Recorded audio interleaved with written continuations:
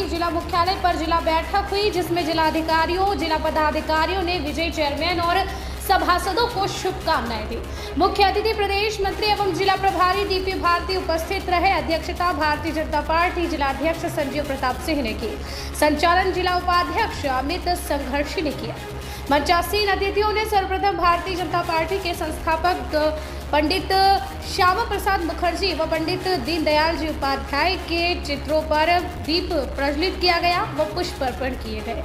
मंच पर प्रदेश मंत्री एवं जिला प्रभारी डीपी भारती, जिला अध्यक्ष संजीव प्रताप सिंह, पीसीयू चेयरमैन सुरेश गंगवार, जनपद नैनीताल, उत्तराखंड के पूर्व सांसद बलराज पासी, क्षेत्रीय कार्यकारिणी सदस्य रजनीश पांडे, जिला महामंत्री महादेव ज्ञान नगर पालिका परिषद chairman doctor Astha Agrawal Bisalpur chairman पति अमन जायसवाल, पूरनपुर चेयरमैन शैलेंद्र गुप्ता, गुलड़िया भिंडारा पंचायत निशांत प्रताप सिंह, नवनिर्मित नौगवा पकड़िया चेयरमैन संदीप कौर व संधु व नगर पालिका परिषद पीलीभीत के सभासद गोकुल प्रसाद मौर्य, पुष्पा उपाध्याय शिखा वर्मा, सुनीता सिंह, रत्ना शुक्ला, साकेत सक्सेना व राजेंद्र भारती राजू फौजी, शिवम श्रीवास्तव, सुरेश लोधी आदि इस दौरान मौजूद रहे।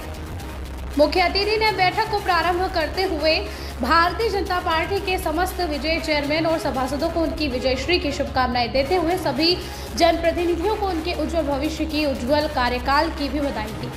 वह भारतीय जनता पार्टी केंद्र और प्रदेश व अब निकाय में भी प्रचंड बहुमत से जनता का मत हासिल करके भारतीय जनता पार्टी की ट्रिपल इंजन की सरकार बनाने का कार्य किया है।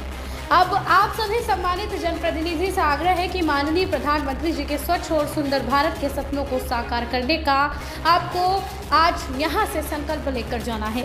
इस तरीके से बैठक में मुख्य अतिथियों द्वारा एक विश्वास दिलाते हुए पार्टी के कार्यकर्ताओं को संबोधित किया गया। पीलीभीत से संवाददाता निजाकत अली की रिपोर्ट। सम्मानित